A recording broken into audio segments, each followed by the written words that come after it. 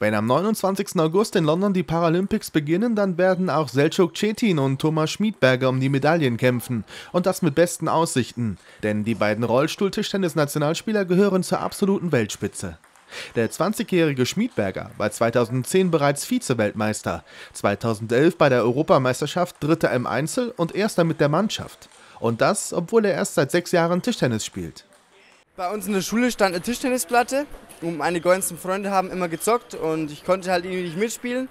Und das konnte ich auf mir so nicht sitzen lassen. Dann habe ich meinem Vater gesagt, er soll auch bitte irgendwie eine Tischtennisplatte organisieren. Und ja, habe dann zu Hause angefangen zu trainieren, hat mir Spaß gemacht. Habe dann irgendwann die Jungs in der Schule besiegt und ja, mich hat der Ehrgeiz gepackt. Ich bin zum Verein gegangen und habe halt dann angefangen zu trainieren regelmäßig. Während nicht behinderte Tischtennisspieler nur ein Sportgerät beherrschen müssen, sind es bei Schmiedberger und seinen Mitspielern gleich zwei: der Tischtennisschläger und der Rollstuhl. Nicht der einzige Unterschied. Der größte Unterschied würde ich mal sagen, die Fußgänger stehen einfach zwei bis drei Meter hinter dem Tisch und haben daher von daher immer mehr Zeit, die Bälle zu spielen. Wir stehen sehr nah am Tisch und müssen daher immer unheimlich schnell reagieren, um die Bälle zu spielen. Und ich denke mal, das ist so mit der größte Unterschied. Michele Comparato ist Trainer beim Deutschen Behindertensportverband und betreut die Tischtennisspieler, nachdem er zuvor bereits mit dem TDC Zugbrücke Grenzau ein Team aus der Bundesliga trainiert hatte.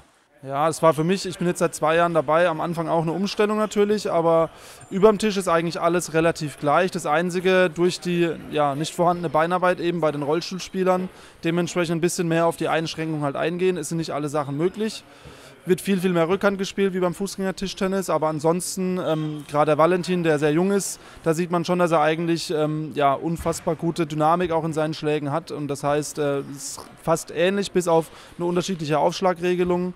Ähm, ja, und die mangelnde Beinarbeit, die da aber die schnellen Spieler auch durch Umfahren des Tisches ausgleichen können sogar. Mit drei Spielern machte Comparato jetzt auf dem Weg nach London in Grenzau Station, um hier am Tischtennis-Stützpunkt die Spieler bestmöglich auf die Paralympics vorzubereiten. Er wird dann bereits zum dritten Mal an den Spielen teilnehmen. Selçuk Cetin, 41 Jahre alt aus Bad Kreuznach. Eigentlich war Basketball seine Sportart, doch dann entdeckte er seine Liebe zum Tischtennis. Also Basketball hat, macht mir immer noch Spaß. Ich mache es so ein bisschen äh, zum Ausgleich, aber ähm, da waren äh, halt die, die, Aussichten international zu starten einfach nicht da. Und habe ich mir Gedanken gemacht und habe es mit Tischtennis probiert vor etwa zwölf Jahren. Und das hat auch ganz gut geklappt.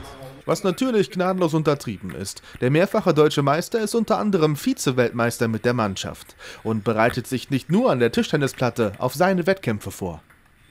Oh ja, also Tischtennis ist ja, das wird jeder bestätigen, nicht nur eine Sache am Tisch, sondern viele Dinge drumherum, also auch Fitnesseinheiten. Deswegen spiele ich auch noch gerne Basketball, damit ich da auch ein bisschen konditionell fit bleibe und äh, nicht nachlasse.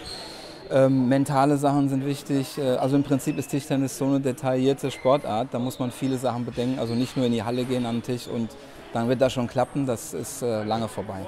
Dritter im Bunde der Trainingsgruppe in Grenzau war der erst 16-jährige Valentin Baus, der sich zwar noch nicht für London qualifizieren konnte, aber schon jetzt ein immens hohes Potenzial beweist. Baus, das ist einer für die Zukunft. Den Namen sollte man sich merken. Aber auch die von Schmiedberger und Cetin.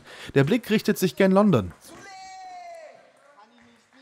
Das sind meine ersten Paralympischen Spiele und es überwiegt die Vorfreude, aber ich rechne mir natürlich auch äh, ein bisschen was aus. Also die Medaille ist natürlich äh, das Allerhöchste, klar, das i-Tüpfelchen. Aber das Dabeisein ist schon mal ein Riesending, weil die Qualifikationskriterien relativ straff waren und auch streng, gerade dieses Mal. Da, da sich dafür schon zu qualifizieren, war ein großer Erfolg.